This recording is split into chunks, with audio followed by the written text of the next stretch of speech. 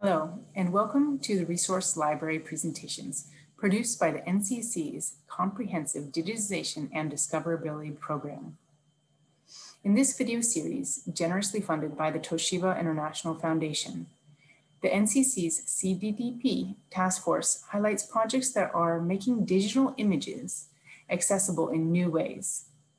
Each presentation discusses the project's content and purpose, how to use the site, and which tools were used to build it. We hope that these videos inspire and support those using images in their work or who plan to digitize their own collections.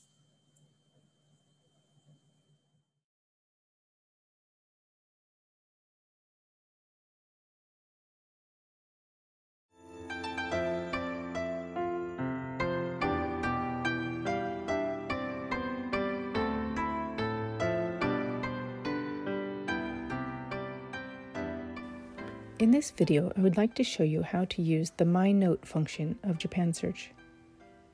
MyNote is a function provided by Japan Search to promote the use of content.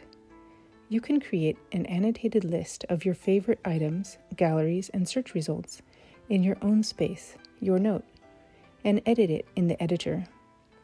You can export your note in various formats, such as CSV, Excel, JSON, you can also embed your note as a web component on external websites.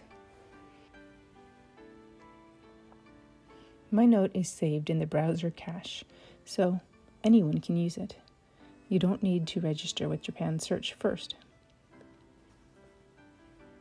For example, even someone without knowledge of web design methods can use MyNote as a bookmark to record items to create and share a collection of items that they found interesting.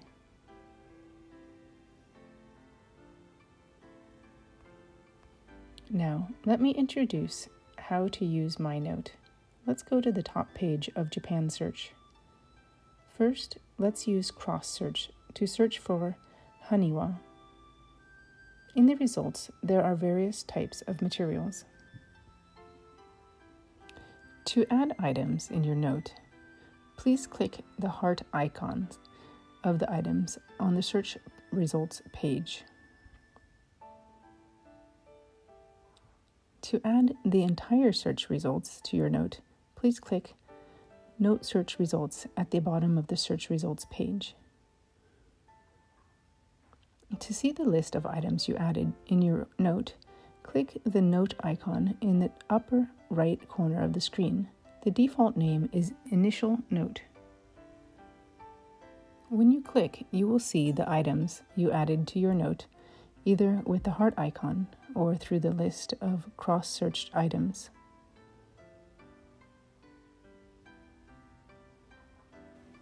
Next, let's cover how to edit my note. It is possible to edit the contents that appear in the middle of the screen. In the My Note page, you can edit your note by using the editor the editor has three modes available. You can change the mode from the menu Change Mode in the upper right of the screen. The default mode is Note Mode. The simplest note mode allows you to add your favorite items to a single list. In Note Mode, you can change the name of your note at the top of the page. You can add a note by clicking on the pencil icon under the title and under each entry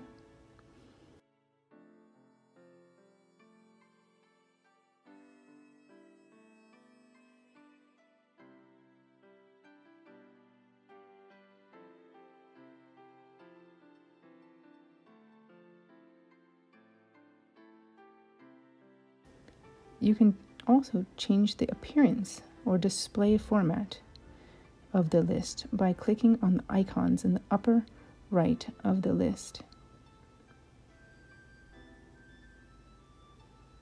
You can also sort the items by dragging them in the outline slash sort menu on the right side of the screen. Note mode is suitable for use as a bookmark.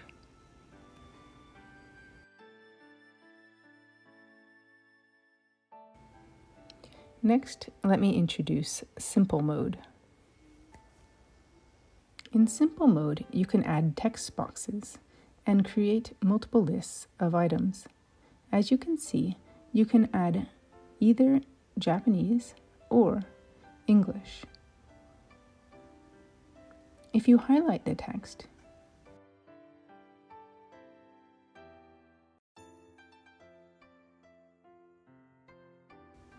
you can format it as you like, such as changing the text color, size, etc.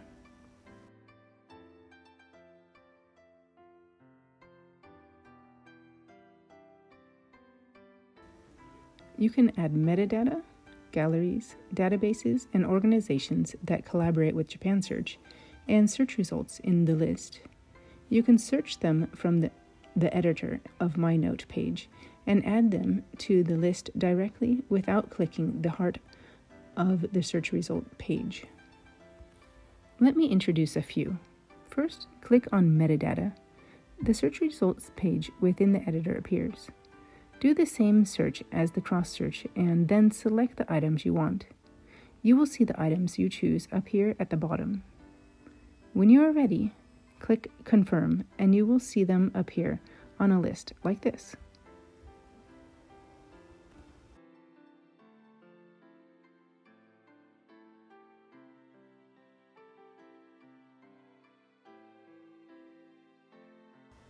You can also add all the results of a search. You can choose either to add the results of the metadata search or gallery. Here, we enter keywords as the search limits.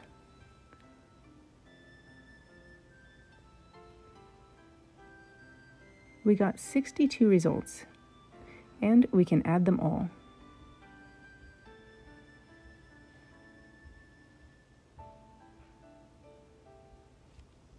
Alternatively, you can add an external link. For example, enter the link's title and the URL. As an example, let's add the Yoshinogari History Park's website.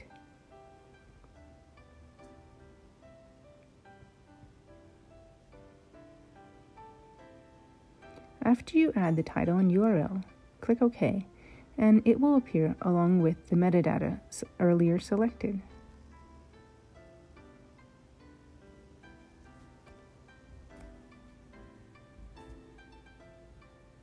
To remove an item from a list, please click the X mark of the item. You can delete an entire text box or list from the More menu, the three dots, on the right side of that section.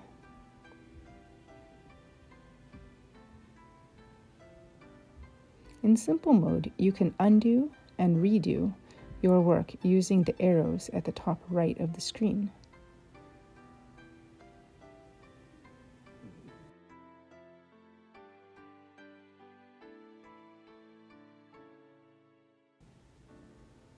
You can also preview your note by clicking on the eye icon at the upper right corner of the screen.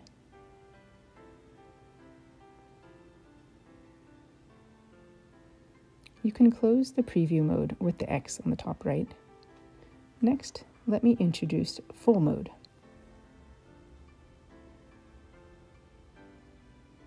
In full mode, all the parts are available and high-level editing becomes possible.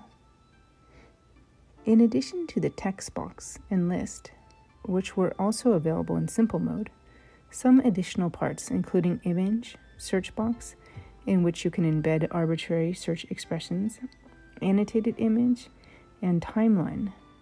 You can also set headlines for the sections and create an index of them.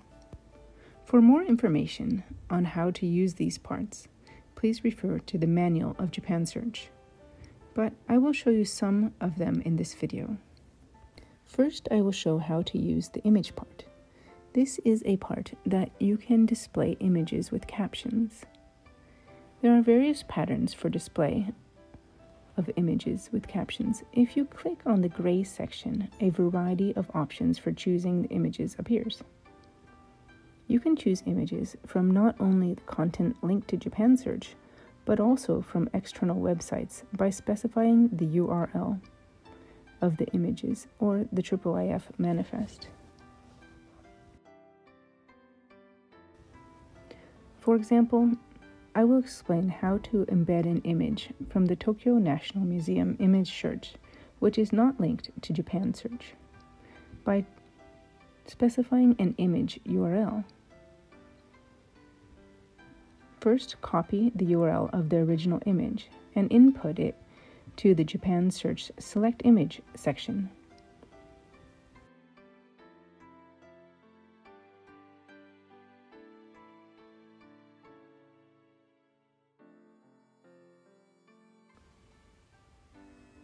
The image comes from an external site, enter the title and source. and the source URL. Please check the use rules for the image. Looking at the original site, we see that this one falls within the CC by NC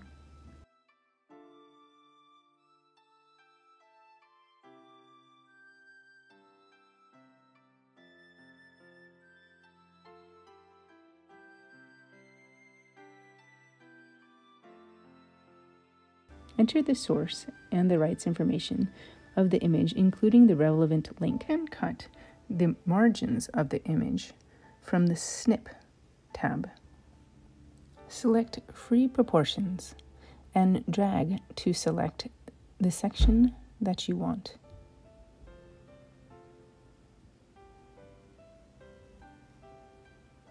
Finally, enter a caption and note to the image. Making use of this image part, you can create a work interweaving the content of Japan Search and content from external sites.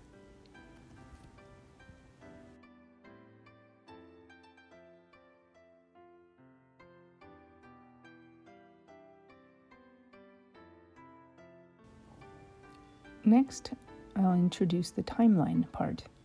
This part allows you to create a timeline of a length of your choice and put events and related materials on it. First, enter a title for the timeline. For example, here let's enter Kojiki and Nihon Shoki as the title.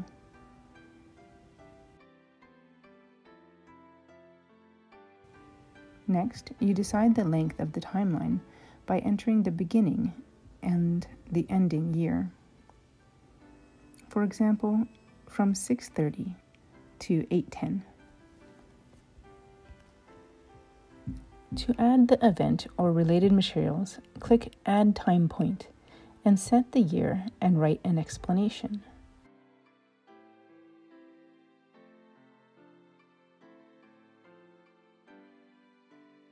For example, enter Kojiki completed and 710 click OK, and you will see it on the timeline.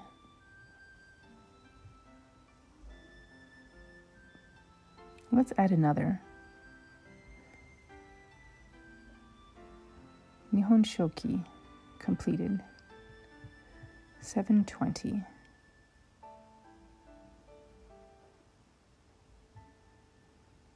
Click OK.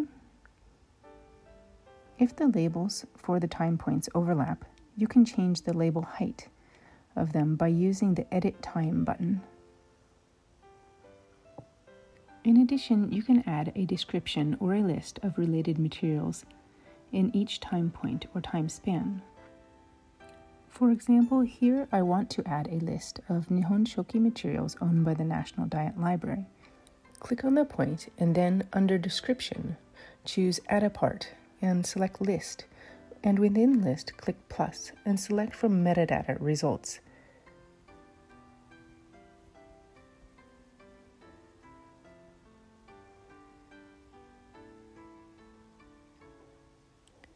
Limit to items held by the National Diet Library.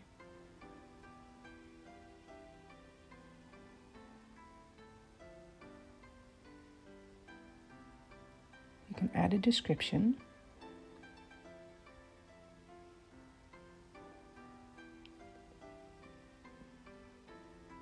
when you press preview, the time points are displayed on the timeline like this. And when you click the time point, explanations and documents that you entered are displayed.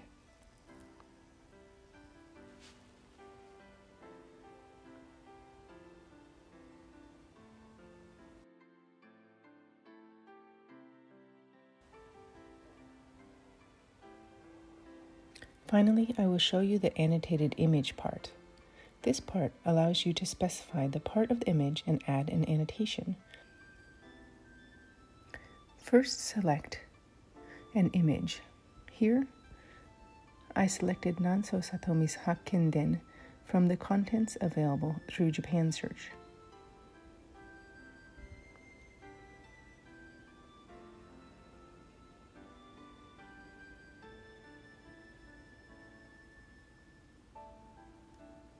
Select the page by entering the page number or by selecting from a list.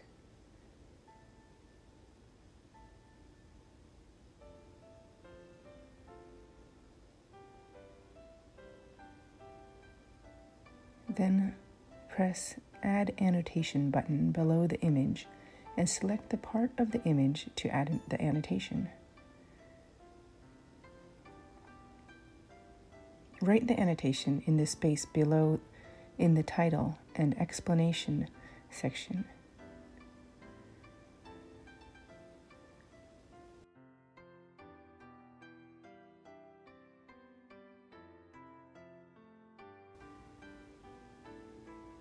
You can add multiple annotations on the image.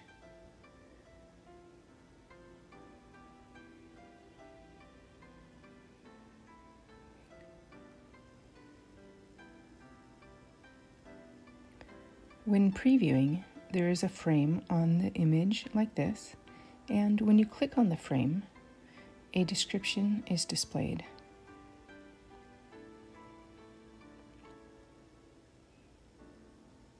That is all for the annotation function. In order to export the MyNote that you have created, select Export from the menu at the upper right corner of the screen and select the format. For example, you can select web part. Code of the note will be displayed. You can copy and paste it to your site or blog to display it.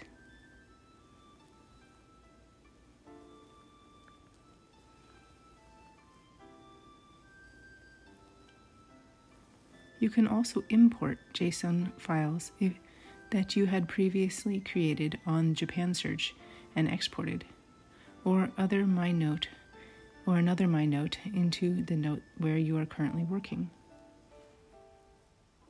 To import data to the note, select Import from the menu and select the data to import.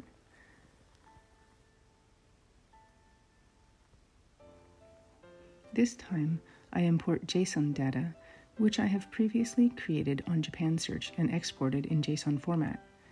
At the end of this note, when you return to the edit screen, you will see that the data I selected has now been imported.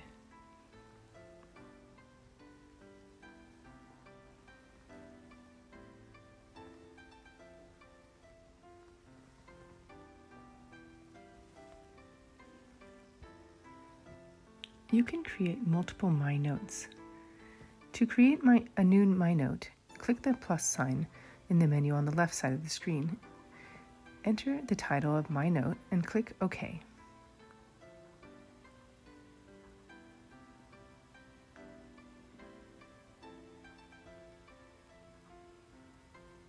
To delete the note, select the note and click the minus sign.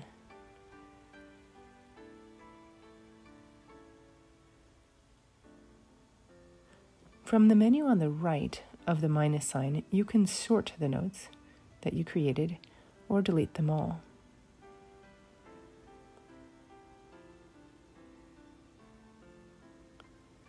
You can switch the primary note from the note icon in the upper right corner of the screen. When you click the heart icon of the item in the search results page, it is stored in the note set to the default note here.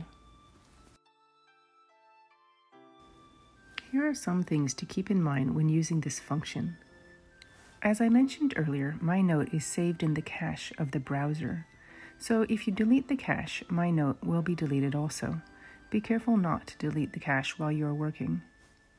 To avoid your My Note disappearing, you can export it in JSON format when you stop working and import it again when you resume working. Similarly, if you want to work on your note on a school PC and then work on it on your home PC, you should export it in JSON format when you're working at the school and import it again on your home PC. In addition, please change the editor mode first.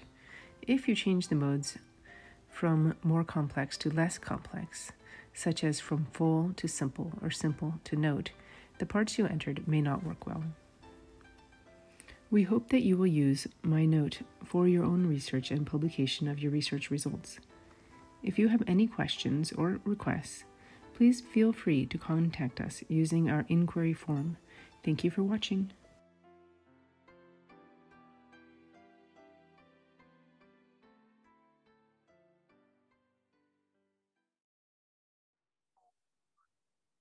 Thank you for watching the presentation.